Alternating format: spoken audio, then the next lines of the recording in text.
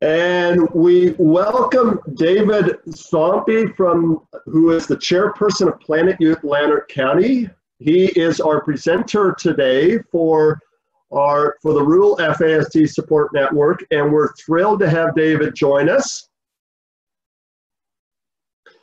And we asked David to join us because we know from some of the research that's been done regarding people with FASD, particularly around Dr. Struska's uh, research in the United States back in 2004, and then again Dr. Popova's research done in 2016 in Canada, that almost 50% of people with FASD are going to struggle with alcohol and drug addictions.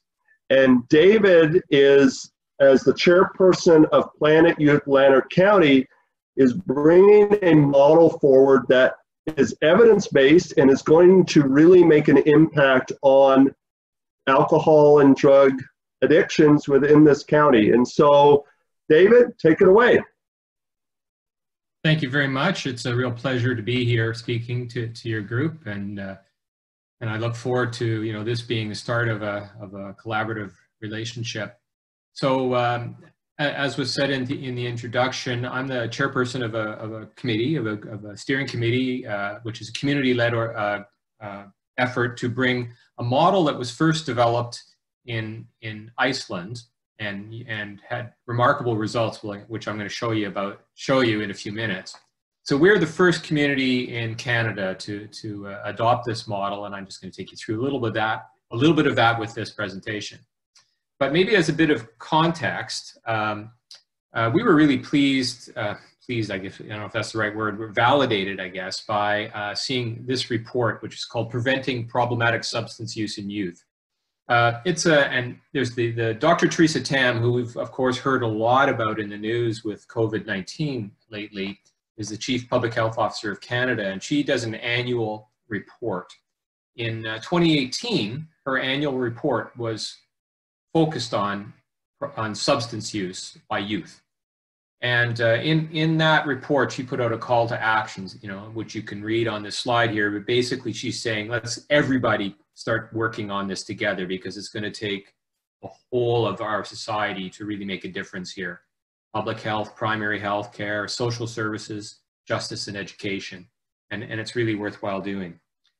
In that report, and that report, by the way, if you want to read it, it's, it's, a, it's a very interesting read, is available on, on Health Canada's website. In that report, she refers to something that she called uh, the Icelandic model. And, uh, and there's a quote in, in, this, uh, in, in the report that talks about the work that had been done in, in Iceland it's done through uh, an organization called the Icelandic Center for Social Research and Analysis, which is uh, part of Public Health at Reykjavik University. So uh, this particular organization has created uh, a, a, project or a program that they call Planet Youth, which and the and the uh, the purpose of Planet Youth is to help communities around the world embrace this model.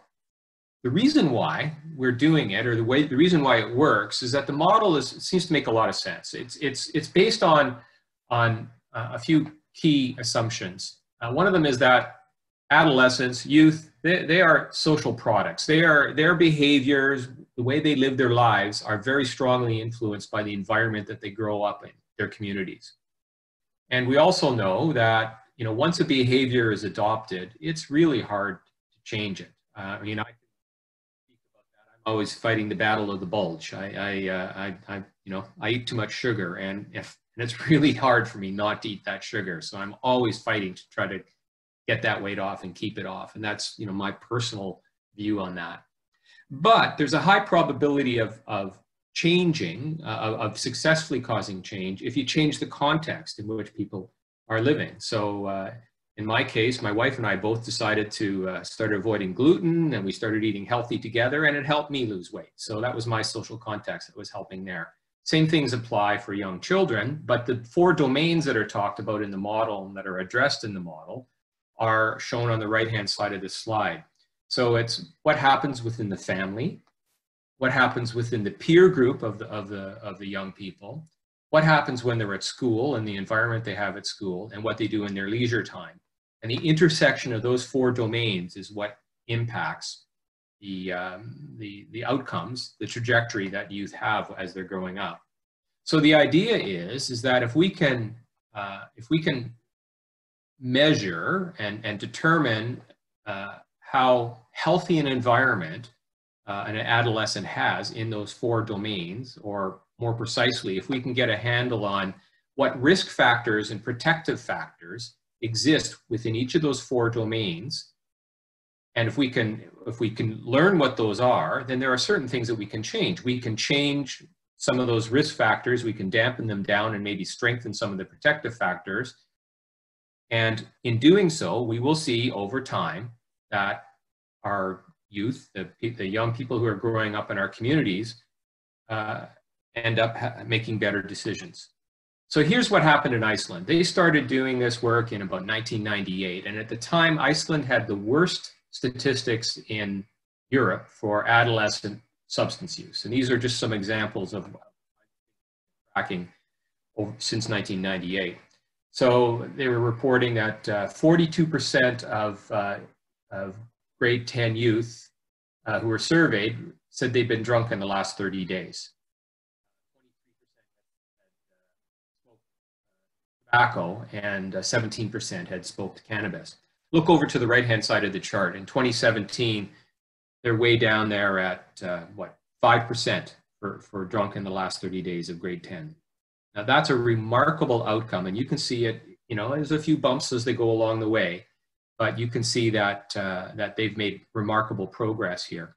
It is interesting to look at 2008 there. There's a little bit of a bump there, and I don't know if I'm reading too much into that or not, but 2008 was the financial crisis, and it hit Iceland really hard. And so uh, my, you know, my guess is that we may be seeing a little bit of that in, in, in that in that data there. But the important thing here is is to notice that this this trend that's here, and and it's there's assignable causes to why they were successful with being able to dampen down this this this, uh, you know, these awful statistics that they had in 1998. And they are consistently uh, leading now Europe in terms of the lowest use of, of substances by adol adolescents. And they've done all sorts of other studies. They've compared themselves against other Nordic countries.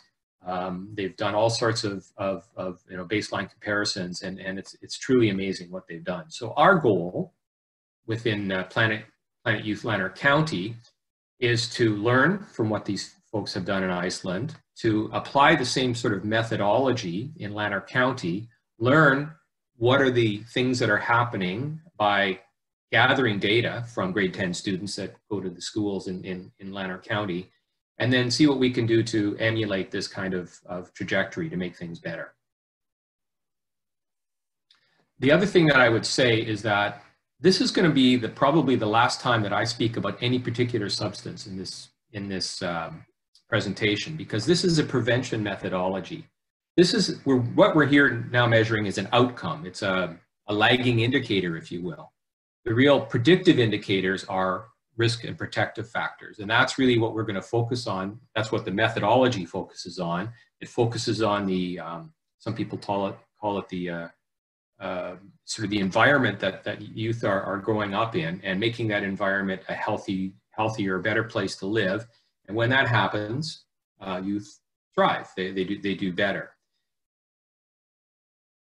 So the methodology is based on surveys of grade 10 students. And the idea here is that the grade, what we learn from the grade 10 students, if say we're going to be surveying them in the uh, fall of 2020, the surveys are going to tell us something about the experience that those students have had up until the time they're in grade 10. And, and uh, so it's going to give us a, a, measure of what their experience has been like living in, in, in their community and going to their schools. It's unlikely that any of the, um, sometimes we call them interventions, it's, it's, it's unlikely that any of the things that our communities do in response to what we learned from their, those grade 10s is actually going to change much for those grade 10s because they're already young, you know, coming into young adults.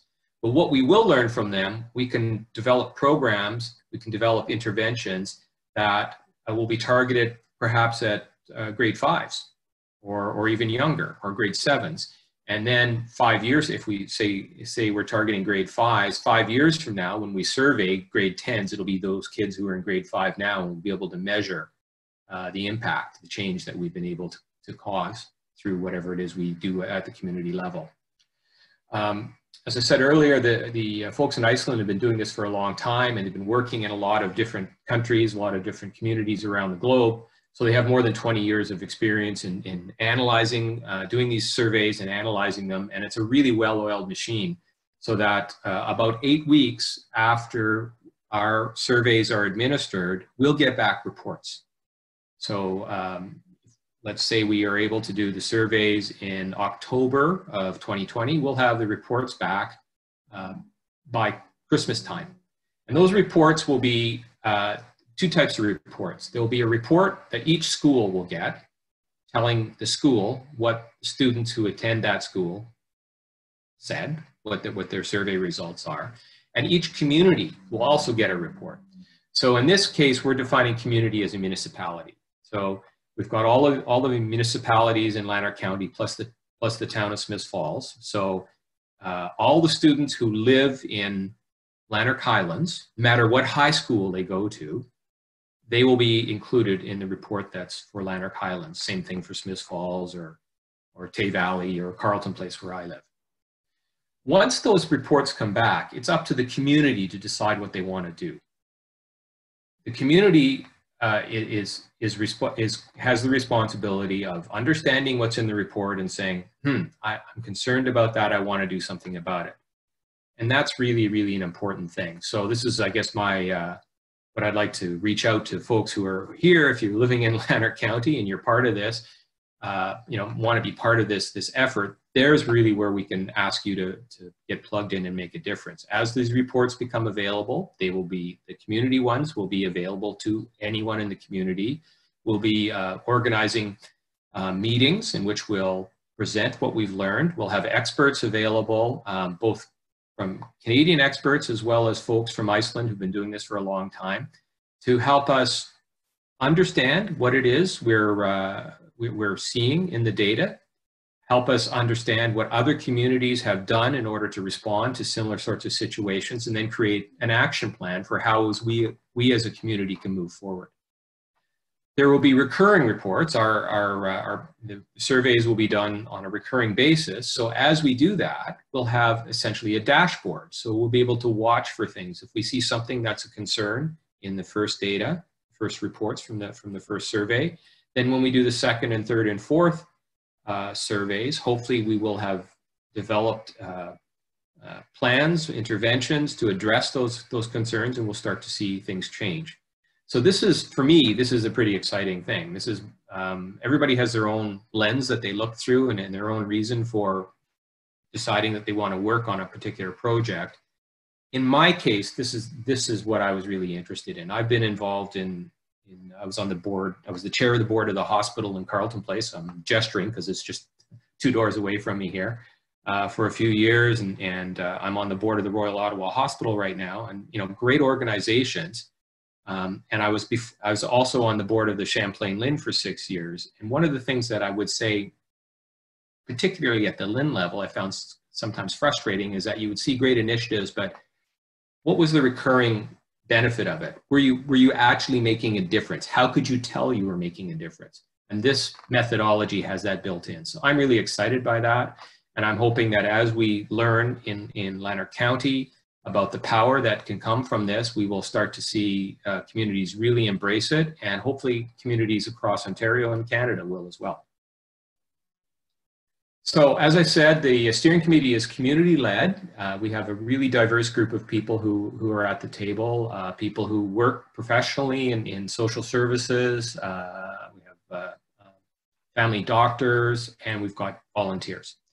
Um, we have uh, both school boards that, that service Lanark County memorandums of understanding with us. Of course, we need to partner with the school boards in order to be able to conduct surveys, for example, in the schools, and also to you know to implement the plans once we have the surveys back. So I'm really pleased that both the Catholic District School Board of Eastern Ontario and the Upper Canada District School Board are, are uh, sol solidly supporting us, as is the Leeds, Grenville, and Lanark District Health Unit. Um, we wouldn't be in the, in, able to uh, be doing what we're doing right now if it wasn't for the very, very strong support of the health unit. Um, Open Doors for Lanark Children and Youth, uh, which is the local mental health uh, service provider. Kevin Cloutier is the executive director of that. He's also the vice chair of Planet Youth Lanark County. Uh, United Way East Ontario is a big, big supporter for us. We are actually, they, we've actually signed up with them. And so we're not a legal entity. So any fundraising we do, actually, we, we are doing uh, with United Way East Ontario as our, as our fundraising arm. Um, so that we don't have to go through the effort of uh, you know becoming incorporated and those kinds of things. So they're doing all of that that kind of back office stuff for us, which is great. We've got youth-focused organizations at, our table, Big Brothers Big Sisters, uh, representatives from the youth centers in the various communities around Lanark County and the town of Smiths Falls. Um, uh, we have uh, we we we are considered to be the prevention arm of the Lanark County Municipal Drug Strategy, and so we've got folks from this drug strategy steering committee there, and we've had really good, really good support from the police service boards around around our county. So I'm really really um, heartened and appreciative of this support. We uh, launched in uh, January of 2020, launched meaning we signed an official uh, uh five-year agreement with the folks from, uh, from Iceland. We're the first community in Canada to do that. Um, we've uh, also, I'll give you a little bit more detail in a minute, but through, through Open Doors, there's a research engagement with the Public Health Agency of Canada to look to do some specific work about, about adopting or adapting this to to, to the Canadian context. And as I said earlier, we're working with both school boards and we're getting all ready to go to do our first survey this spring and then COVID-19 happened. So of course, there's no students in classes and you know everything everything is the world is turned upside down for us.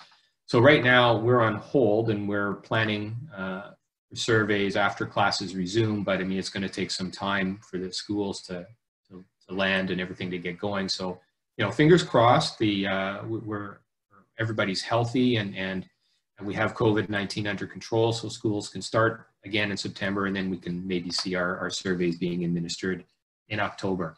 Uh, on the right there has a picture of me, Fraser Scantlebury from United Way on the far right of it, and uh, Jan and Paul are two guys from Iceland who are over here as part of the, uh, the official launch. Um, I did mention a little bit about some research that's going on. Really pleased that uh, Tanya Halsall, who is a uh, uh, postdoctoral fellow at the Institute for Mental Health Research, which is affiliated with the Royal Ottawa Hospital, uh, is, is doing some work with us. Tanya is, is uh, very, very focused on, on youth, youth mental health and particularly community-based youth mental health work. Uh, so with Tanya and with Kevin Cloutier from Open Doors, we're, uh, we're developing an evaluation framework. And this framework, uh, we're going to be the first community to use it, but it's available to any, any community in Canada that wants, is interested in it, and hopefully will help them uh, rapidly uh, adopt uh, a similar type of, similar type of prevention methodology. Um, also, um, as the first bullet here, I guess, is talking a little bit about that. So the framework is going to be looking at not only uh, impact on problematic substance use, but we believe that there's a, a strong correlation with mental wellness or mental health impact. One extension we're doing, I guess, a little bit in the evaluation is looking at mental health use. And with what's happening with us right now in terms of COVID-19, um, there's actually some work to investigate uh, opportunities to do some specific COVID-19 studies based on, on the survey. Um, if we are, uh, let's make the assumption we are able to do the surveys in October, reports in December, um, that's going to be pretty a pretty uh, rapid turnaround time. And so hopefully our communities will be able to learn something from that in terms of not only what was happening as a baseline, but also what is the impact of COVID-19. Um, very interesting to note that there are several new Planet Youth uh, partners around the world that are rural. Uh, the graphic I'm showing right here is from uh, is from the planetyouth.org website. The URL is at the bottom there, and there's there uh, right now there's 32 countries and 111 communities that are uh, adopting the model. And you can see Canada is there, so that's us. Really pleased about that.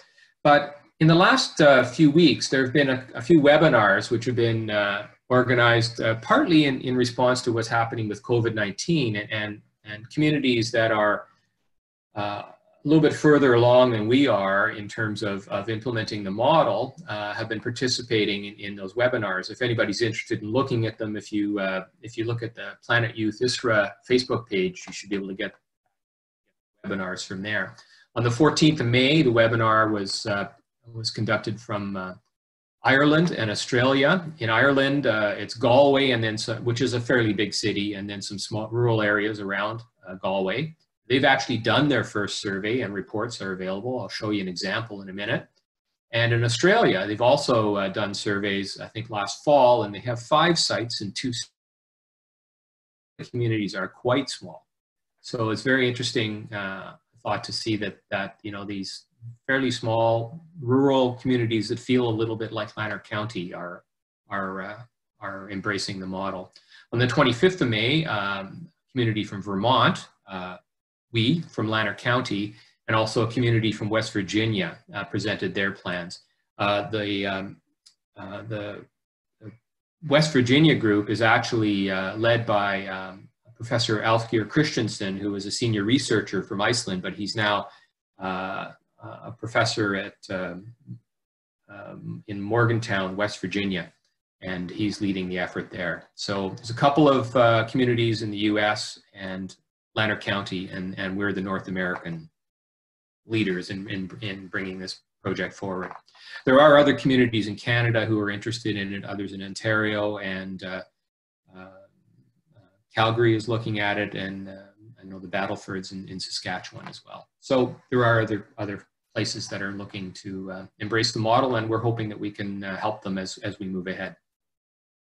So I wanted to show you this. This may be a little bit hard uh, to see when you're looking at it right now, but this is a really colorful graphic that came from Ireland. And if you want to see it, you can see down at the bottom there, uh, planetyouth.ie.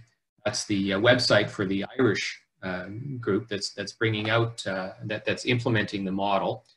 And there's one thing that's kind of surprising, which I've circled here. Uh, I'm going to read it to you, so you, prob you probably can't see it. So it's talking about uh, extracurricular activities. You can see the domain there, and and uh, see that uh, uh you know 49% uh, uh, are physically active three times a week or more, 31% an hour or less of physical activity per week, and then a really interesting result. Teenagers who are active in a sports club or team in a particular community are less likely to smoke and use cannabis. So that's good. That's an outcome that you want, but slightly more likely to report drunkenness. Now, these are the kinds of surprises that, that, that, that show up in various communities. One would hope that being involved in these sports clubs would make it less likely that you're going to be drinking. But in this particular case, they found actually a, a, a higher risk. I don't know what it is. Maybe after the soccer game, they're going to the pub. It's possible. Um, but I, I, know for sure that the folks in Ireland are digging in to find out why this is. So I expect we're going to see some some things that are kind of, uh, you know, we may see similar things in Lanark County where things are a little bit surprising. But here you can see some of the examples of of uh, of correlations that they find in, in, in the data. So they're seeing, you know, what is the influence of family or what's what's the peer group effects or or you know, what's going on in their schools. Um, and how is that impacting some of the behaviors that, that they're seeing. So this is just a colorful graphic as a cover page, but the full reports that came out of Ireland, I think are, are you could download them if you want to see it on that on the website. So I look forward to uh, hopefully at the end of 2020 being able to report something like this that's based on surveys that have been conducted in Lanark County. Really, that's my presentation for, day, to, for today. If you want to learn more about about uh, what, we're, what we're doing in Lanark County, we have a website, which is planetyouthlanark.ca. And if you want to learn more about the methodology, by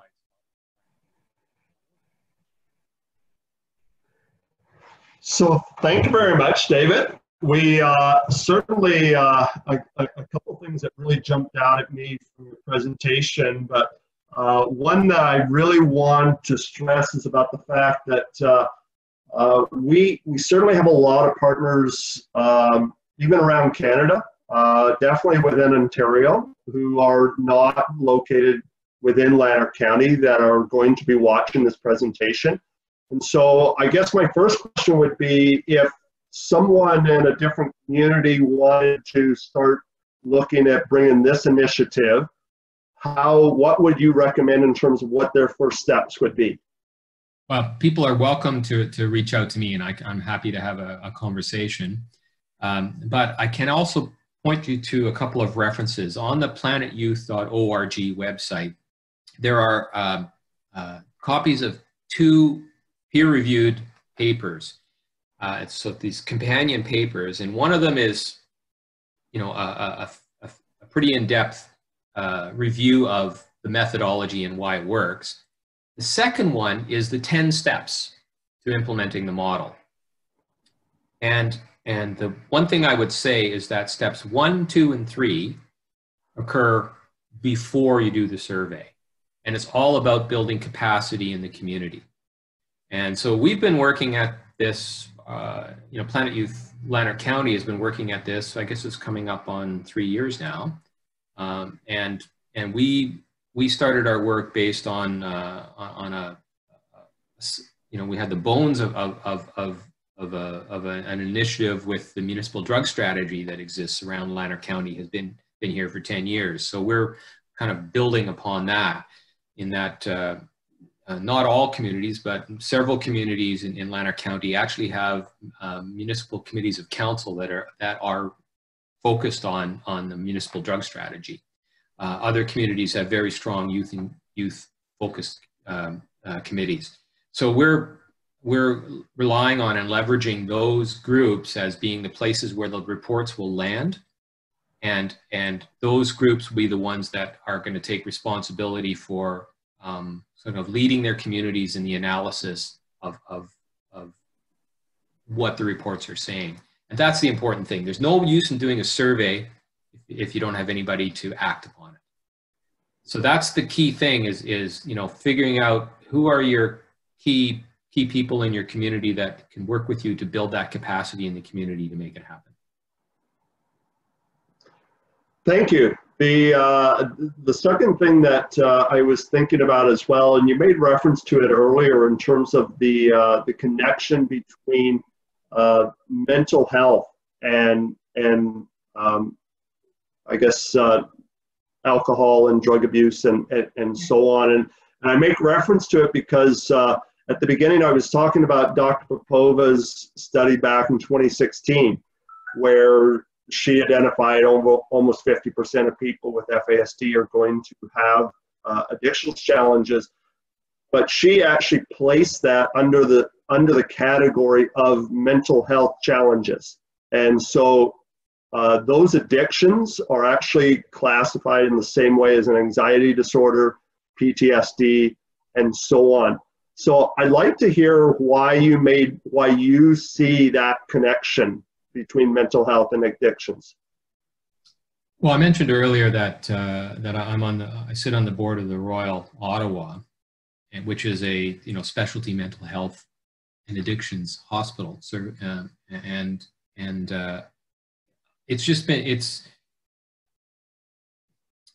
everybody has been touched by by uh, mental illness and and a lot of people who experience mental illness also have, have uh, had some experience with problematic substance use. I, I know lots of people who've had it. I mean, my grandfather committed suicide. He was an alcoholic, and, and he, you know, he, my father was 16 years old when that happened. It, it impacted my father for his whole life. So, I mean, you know, every family has experienced it, and uh, I mean, you don't have to go very far. Right? So, to me, it's just two sides of the same coin. In in the same way that you talked about it earlier. And so uh, several of us, when we were looking at, at, at the model and the outcome, you know, our question to the folks from Iceland was, well, this, you know, it's amazing what you've done from a substance use point of view. What is the impact on mental health? And the answer was, well, they believe that, you know, they believe there really is a strong impact, but they actually hadn't done the quantitative analysis yet on that. They've been very focused on the problematic substance use. so it just seemed like a natural thing to do. So, um, um, you know, I, I, I, hope we're getting past the point where, where people who, uh, who have concurrent you know, substance use problems and, and mental health issues, I hope we're past the point where care providers say, well, get yourself clean and then we'll deal with your mental health issues. Um, I'm not confident that we're actually past that. Um, I've heard, I've heard people, I've had people tell me that they saw a doctor who told them that addicts were supposed to, uh, were supposed to be experiencing pain. That's not healthy, right? So uh, I just think this is a way of, of breaking down some of that stigma. Beautiful and and and we we certainly within the rural FASD support group always make those same type of statements. Uh, you know, uh, our big statement is that no one chooses to do this. No one chooses to become an addict. No one chooses to have mental health challenges. Uh, these are all these are all factors beyond their particular control and, and it's our position to step in and try to support and help and, and, and work with them as they go through that. So thank you for that. Yeah. Um, I just remembered one other thing that I meant to say uh, in, in the presentation part of this that, um, that, that we are uh, absolutely going to be, be uh, doing as, as the reports come available here. We have a specific uh, uh, committee that's, that's, that's focused on engaging youth. To be part of the what you know what are we learning from the surveys? What are we learning from the reports? And what are we going to do about it? And uh, so we have um, there's a particular subcommittee of our steering committee which is the youth engagement subcommittee. And, uh, and as much as possible we're going to keep the adults out of the room. And and and we're, and we're to try to empower truly empower youth to to to give us their advice and and to the extent that we have influence over you know, what communities do with, with the reports and, and what responses they make, we're going to do our best to make sure that the youth have a, vo- have a voice there, as well as, you know, the old guys with the gray beards. And, and, uh, and that I think is a really, really important thing. And that's part of what we talked, what I talked about with Tanya, who's helping us. And we also have uh, uh, Rebecca from the health unit who is, who, who makes her who's living is is is you know developing relationships and and with with youth. Um, she's she's leading that that part of it. So that's another piece that we're trying to do, which is um, not necessarily formally part of, of uh, other implementations of the model, but we're we're determined that's going to happen here. Beautiful. So just finally, a conclusion. Uh, if if people are wanting to reach out, if they're wanting to get involved, uh, particularly around uh, within Lanark County and, and speaking with the municipalities, where would you direct them? How should they contact? If they go to planetyouthlanark.ca, there's a, a link that they can use to send an email there, and that email will arrive in my inbox and, and uh, Fraser Scantlebury's inbox, and between the two of us, we promise we'll get back to you promptly. Wonderful. Thank you very much. Thanks a lot.